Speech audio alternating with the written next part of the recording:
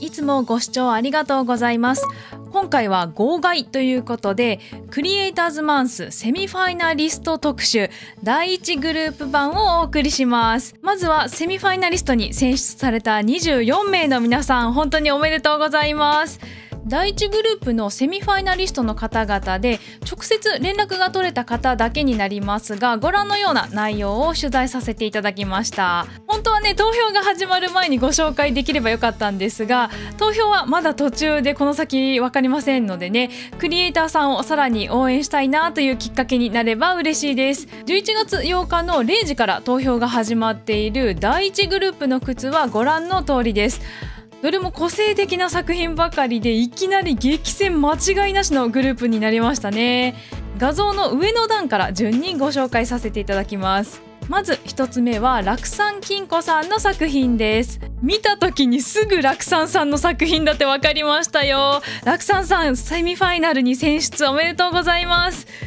では楽山さんのコメントをご紹介させていただきます。時間がなく作品はたくさん投稿できなかったので不安やプレッシャーがありましたが選ばれて安心しました。ロッチが野生動物の保護に力を入れていると知り野生動物を題材にしました。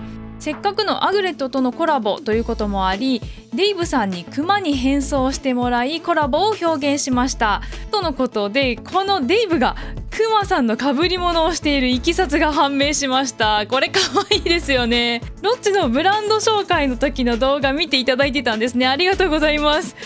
これはご紹介した甲斐があるってもんですね。配信者冥利につきます。皆様の応援励ましのおかげで継続して活動することができています。本当に力になっています。ありがとうございます。絵自体は上手ではないのですがこれからも面白く奇抜で個性的なスニーカーをデザインしたいと思います。ありがとうございました。ご謙遜されてますがもう一目で楽山さんだとわかる絵のタッチや個性的なデザインはすっかりおなじみになってますよね。それからお人柄ですね。宣伝忘れてますよ。楽山さんは今月のゲストクリエイターにも選ばれています。今月おそらく最終週の11月27日だと思いますがウィークエンドドロップで楽山さんデザインの NFT を含む5足の靴がドロップされます。NFT 購入特典にはアパレルもついてきますのでどんな服になっているか個人的にはめちゃくちゃ楽しみにしています。ハロウィンから大躍進中ファンも多くて皆さんの期待も高い分プレッシャーもかかるかもしれませんが皆さんは楽山さんの自由な作風が大好きだと思いますのでねこれからものびのびデザインしてもらえたらなと思っています。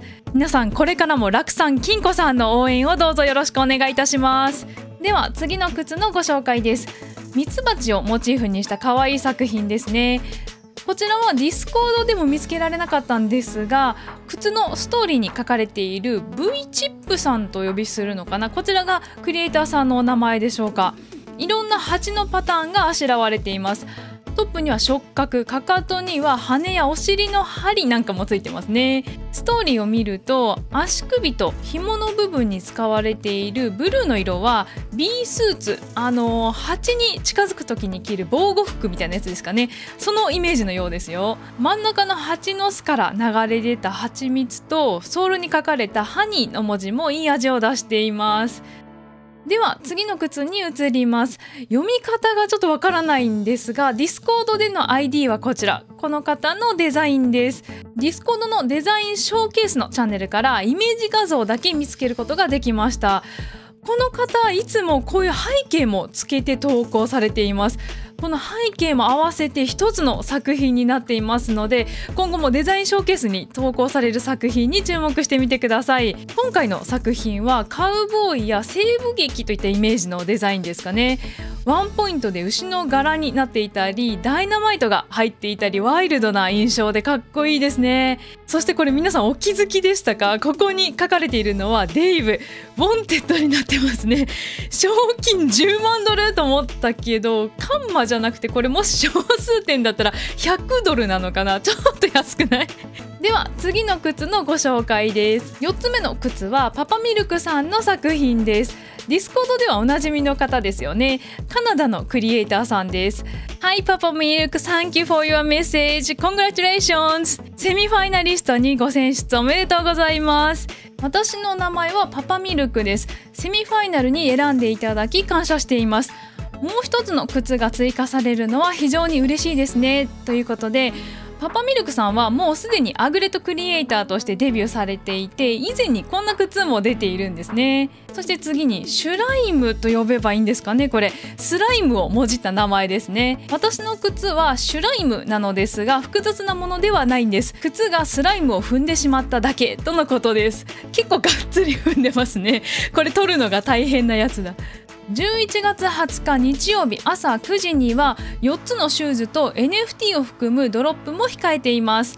パパミルクさんも今月のゲストクリエイターのお一人です。こちらも NFT 特典のアパレルも含め楽しみにしています。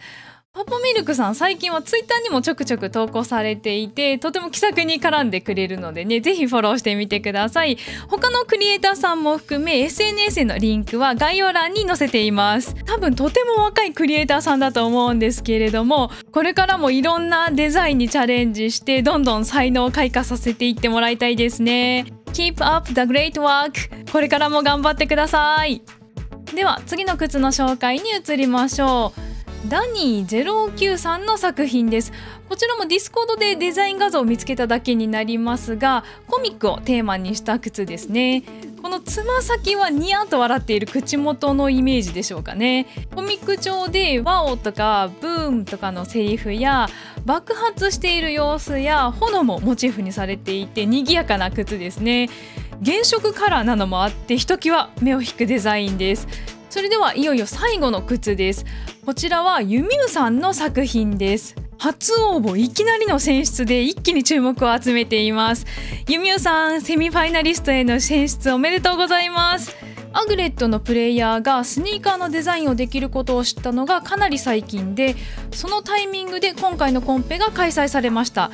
単純に面白そうと思い初めて応募したところ24名に選出され本当に驚いております。ということでまさにシンデレラクリエイターさんです。突然現れたこの綺麗な靴ね衝撃受けている方も多いですもんね。もちろん私もその一人です。ロッチ製品の素材から太陽空地球海植物を連想し色で表現しました。バラの花言葉は愛。時に人々は花束を贈り物としてチョイスします。バラは愛の象徴。混沌とした世の中ですが世界の平和と皆の幸せへの祈りを込めた贈り物。ドロップされ箱から出てくるワクワク。手元にシューズが届いた時にしか味わえないその瞬間を楽しんでいただければ幸いです。アグレットを始めた当初まさか将来自分が作品投稿しているとは思わずそこからたくさんの方に出会えて楽しく過ごさせていただきまさか今回初挑戦で選出されるとは思ってもなく出会いにも応援にも本当に感謝感謝です。世界が広がってワクワクします。まさかの楽山金庫さんと同じ週ですけれども2人でアグレットジャパン第1週グループ代表として盛り上げていきますので引き続き応援よろしくお願いします。普段はユミューという名前でセラミックアートメインで活動しております。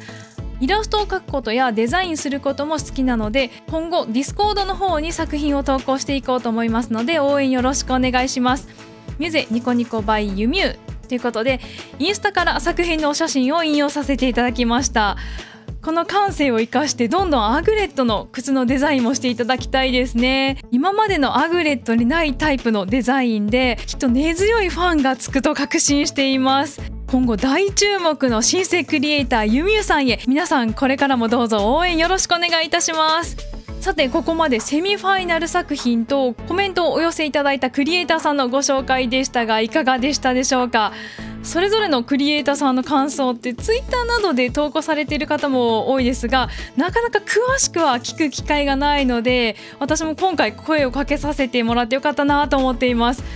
第2グループ以降のクリエイターさんについては事前にお声掛けできますので次回以降はグループ組が分かり次第号外を出していく予定ですのでお楽しみに。このチャンネルでは今後もアグレットの情報を発信していきます。ぜひ一緒にアグレット習慣を続けていきましょう。それでは最後までご視聴ありがとうございました。取材させていただいた皆さんの靴履いてみました。それぞれの靴のイメージのアグコファッションショーですがどうでしょう。前から見てもいいですね。スライムどうなっちゃうんですかね。あ 踏まれてますね。